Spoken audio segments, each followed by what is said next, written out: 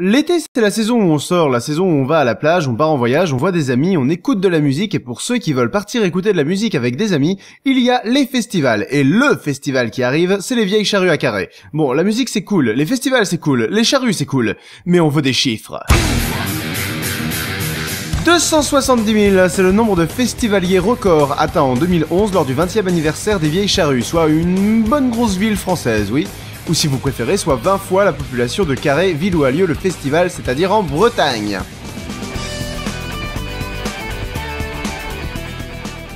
Un peu de fierté régionale, pardon. 75, c'est le nombre de groupes annoncés sur le site officiel des Vieilles Charrues, autant dire que tu trouveras ton bonheur. Bon, certes, aujourd'hui, les lecteurs MP3 accueillent sans problème 320 gigas de musique, soit 6700 heures, soit 400 000 minutes, soit 24 millions. de secondes. Alors bon, à côté, 75 groupes, ça fait. Mais c'est la qualité qui prime sur la quantité, et à ce titre, mesdames et messieurs, les Vieilles Charrues vous proposent 20 têtes d'affiche, et ça fait beaucoup de têtes d'affiche.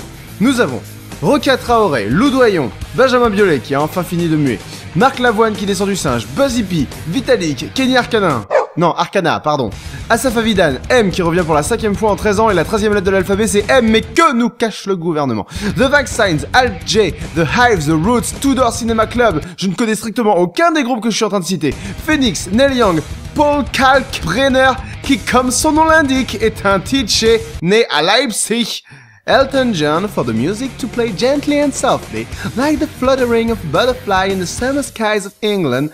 Carlos Santana así que la música es buena y dulce como el vuelo de un pájaro en el cielo de México. Y Rammstein, So dass die Musik brutal und wild wie dem Absturz eines Flugzeugs in den dunklen Himmel von Deutschland ist.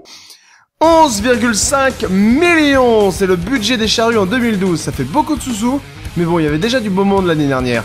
LMFAO, The Cure, Thomas Dutronc, Sting, Justice, TFN, Bob Dylan, Gossip, Orelsan, chaque année, les charrues, c'est du lourd Mais évidemment, cette débauche de décibels a un prix, 155 euros pour un pass 4 jours, soit 38,75 euros par jour, donc avec 14,5 euros par jour, on arrive à 2,67 euros. La représentation individuelle, donc au final, c'est pas non, mais je vais pas compter comme ça, parce que certains groupes passent en même temps, donc on voir tous. gueule 6, c'est le nombre de scènes du festival. L'énorme scène Glenmore, la scène Jacques Kerouac, plus petite, la scène Xavier Graal, toute mimi à côté, la scène Guernic et son chapiteau beaucoup plus intime, la scène du Verger, accès théâtre, passionnante, innovante et féerique, et la scène des jeunes charrues pour servir de tremplin au nouveau groupe. 4, c'est le nombre de jours que dure l'orgie, donc prévoyez des slips de rechange. 245, c'est le nombre de jours qui sépare le premier jour de mise en vente des billets et le premier jour du festival, alors si tu n'en as pas, tu n'as aucune excuse.